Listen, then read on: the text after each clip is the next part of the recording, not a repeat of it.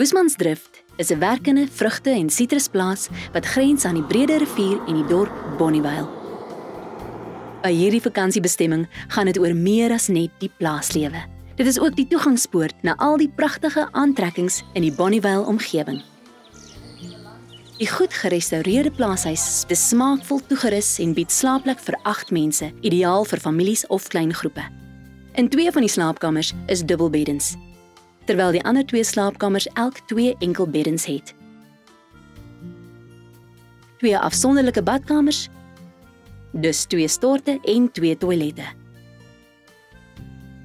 Die goed toegeruste kombuis bied alles wat nodig is vir selfsorgnaweke of langer vakansies.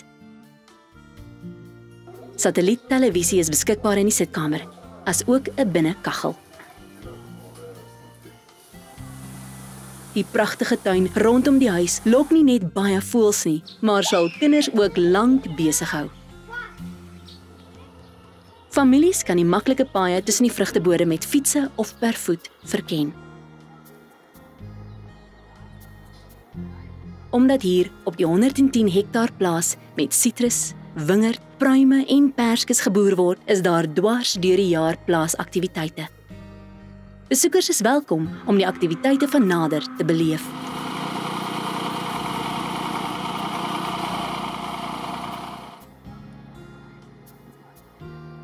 Ek deel graag Boesmanstift met my gaste sodat julle ook 'n bietjie plaaslewe kan ervaar. thank you